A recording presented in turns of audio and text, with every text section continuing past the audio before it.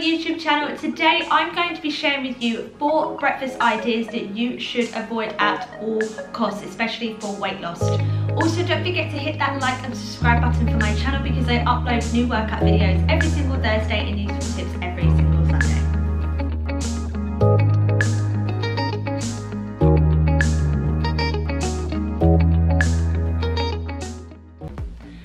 Okay, so I'm just gonna dive right into this video and the first breakfast that you should be avoiding at all costs are yogurts that have fruit in them. So I'm talking about the store yogurts that you buy that already has fruit included in them, whether that's at the top or the bottom. Now, I know that having a yogurt with fruit sounds extremely healthy and it's something that I always thought as well, but the problem is it's actually a trap. The reason it's a trap is because the fruit that's included in these yogurts are full of fake sugars, syrups and it only really has a tiny amount of fruit juice.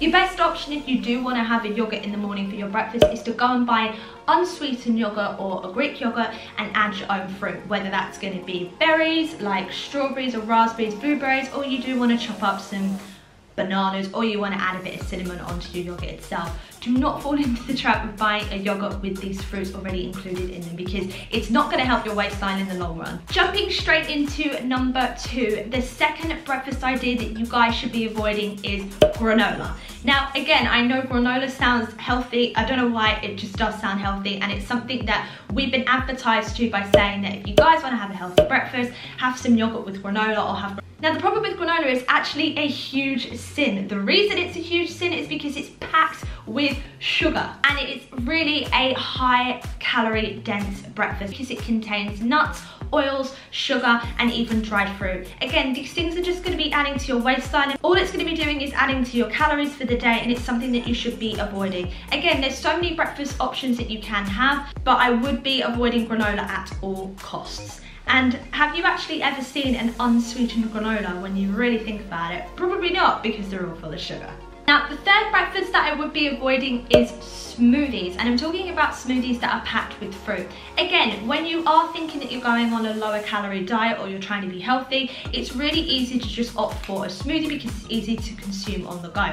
But the problem is, is that a lot of smoothies are made with fruit and fruit equals sugar. Now, I know fruit is natural, and I know you're consuming natural sugars, but when you actually blend down your fruit into a smoothie, the British Heart Association actually states that blending down the fruit sugars, the natural sugar is actually getting released from the cell walls in the fruit itself and you actually are then only left with free sugars. And free sugars are something that we should be avoiding at all costs, not only in our normal day-to-day -day diet, but again, especially something if you are trying to be healthy and lose weight. So if you're gonna opt for a smoothie, try and always go for a green smoothie that you can make from home that's either made with vegetables. There's loads of recipes online, but I do suggest steering clear of fruit smoothies. And also the other problem with having a smoothie is that sometimes when you are consuming liquid breakfasts, it actually leaves you hungry throughout the day and it doesn't satisfy that hole.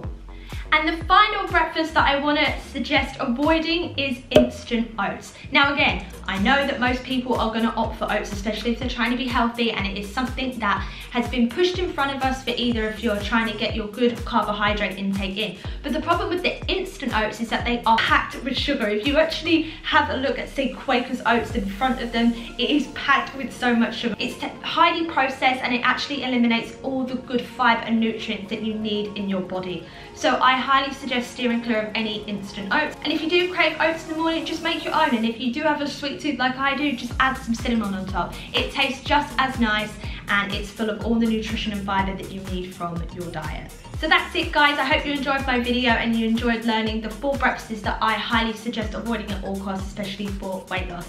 Don't forget to hit that like and subscribe button because I upload a new workout video every single Thursday and useful tips every single Sunday.